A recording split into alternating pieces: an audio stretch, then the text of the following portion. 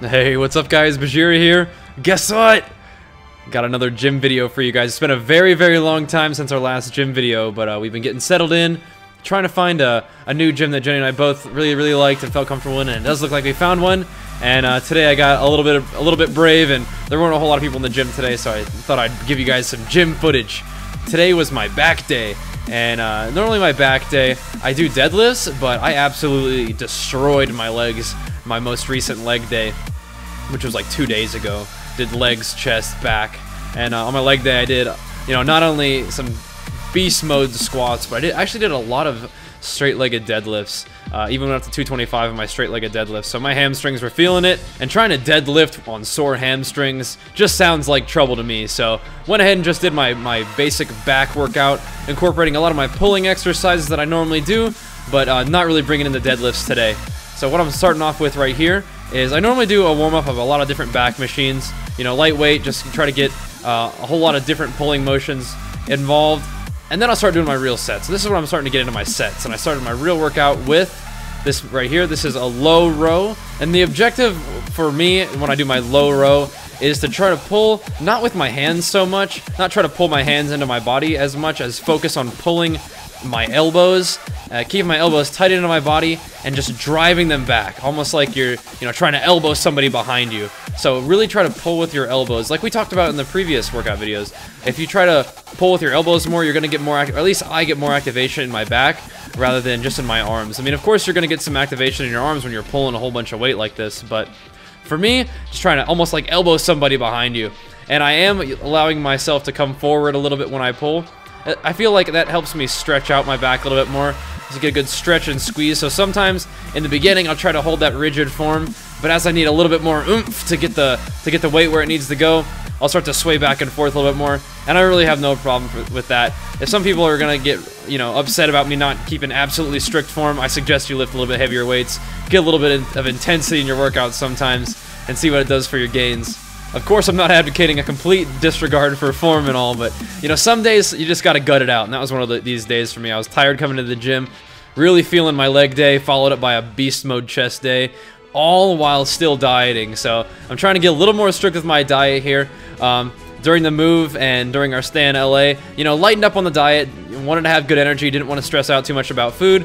And of course, wanted to have some of my mom's delicious cooking, so lightened up on my diet a little bit. Really didn't suffer too much in terms of the weight department. I'm still holding strong at about 196, but I am going to buckle down on my diet a little bit more. Although, honestly, I'm, I've been noticing, uh, I mean, at least what I think are results, and I'm dieting at about 3,000 calories right now, so that's a pretty high amount for me, but if I don't, if I go any, any lower than that, I end up being really, really hungry at the end of the night, and so, you know, that's about 2,700, take one more snack, about 300 calories, a little bit before bed, and I'm feeling good. So, but I'm also noticing results. I feel like I'm leaning out still, still feeling strong in the gym.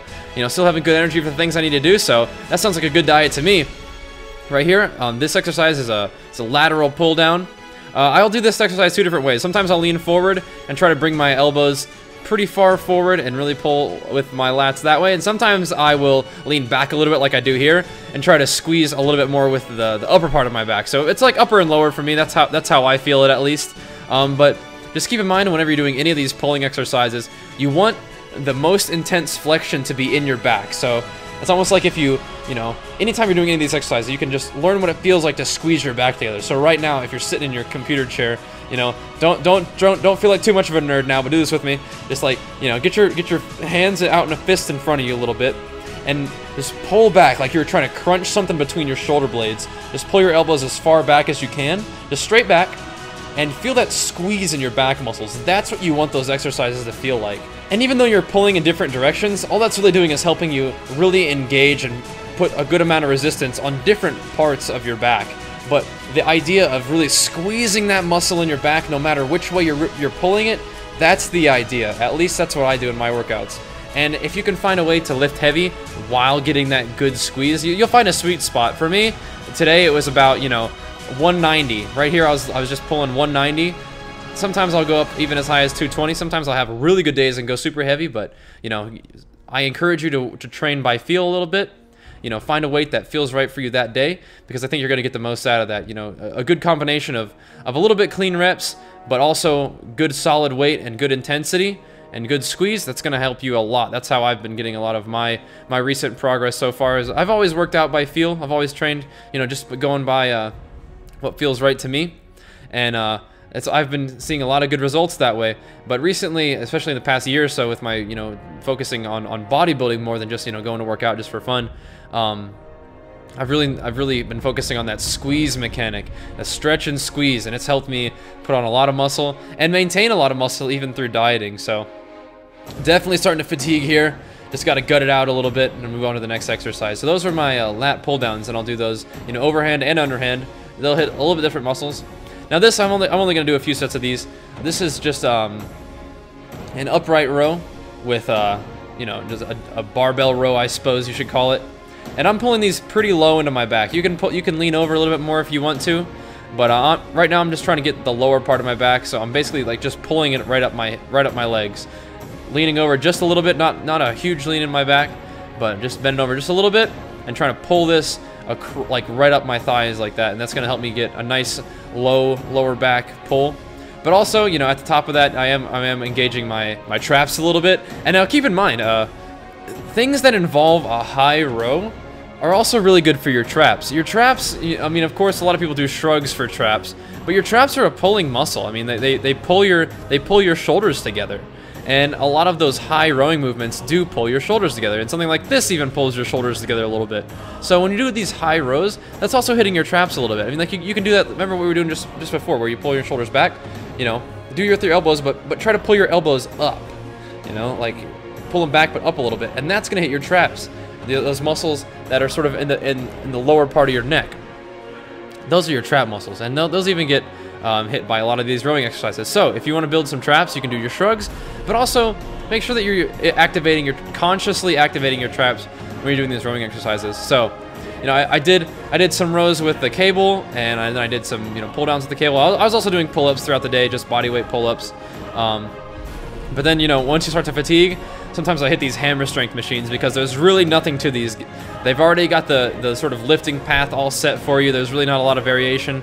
So all you really do is try to recruit any of those final muscle fibers that have any energy left in them and just pull with all you've got. And these are also really fun because it's at this point in the workout where, you know, you might think you got nothing left, but um, usually you can surprise yourself with what you're able to what you're able to do. Um, a lot of times you do have more strength in your body sometimes than you think you've got in your mind. So I encourage you to have your, uh, you know, one way or the other. Either either motivate yourself mentally to, to do things that you that you feel like you can't do or have your body just say dude you know what? There's not a whole lot of thought involved in this right now. I'm literally going to pull this until it doesn't move and again. And that's how you know you're doing something right. And that's one of my one of my favorite parts about working out in general is it gives me a chance to go um, just to absolute physical failure. Just get every ounce of intensity that you've got in your workout and uh, go ham. And that's like, like I said, that, that's what I, that's one of the things I enjoy about about the gym so much is it gives me a chance to just exert raw intensity in a positive way. So I know there's a lot of you guys who've, who've got that warrior spirit inside of you. You've got you know a lot of whether whether it whether it's expressed in your mind as rage or sadness. Um, I would just call that intensity. So I know there are a lot of intense individuals out there and if you if you find yourself sometimes overwhelmed with that intensity that you don't you don't necessarily know how to how to make sense of it or you don't necessarily know how to express it i urge you i implore you to start working out because it's it's a way to channel that intensity channel that rage or sadness or frustration or happiness. You can have intense happiness. Uh, channel that put that to good use. It'll help you, uh, you know, become physically stronger. And you know, one of the one of the cool things I can that I think about is you know, you have a physical manifestation of the intensity that's inside of you when you're able to you know build muscle that way. So kind of a weird thought, but I'll, I'll, I'll leave you with that. Not sure how well I express that, but uh, that's one of the things I like to think about. You know, you can you can wear you can wear that intensity as a badge of honor. Instead of letting it beat you down, you channel it into something positive and let it build you up. So just something to think about. Hope you guys had a good day, because I sure did. Really glad I got to get another gym video out for you guys, and I promise I'll make these absolutely as often as I possibly can. So thanks so much for watching, guys, and I'll see you next time. Peace!